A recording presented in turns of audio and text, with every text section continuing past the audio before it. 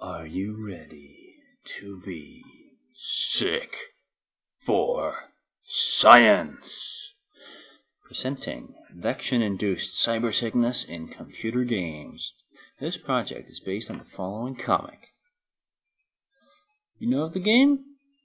I know that some of you helped me as test subjects, but if not, here's some in game footage from Mirror's Edge.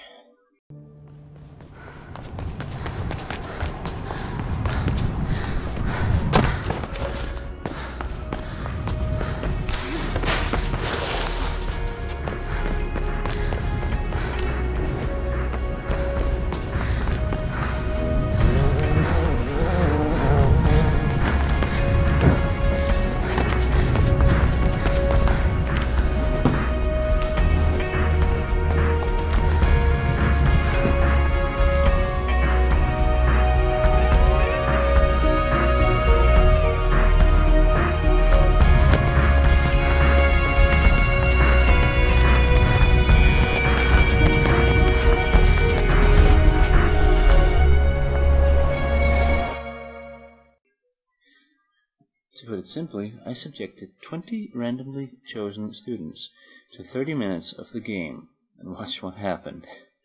Now, here's my results. 3 out of 20 test subjects got nausea and headaches from playing the game.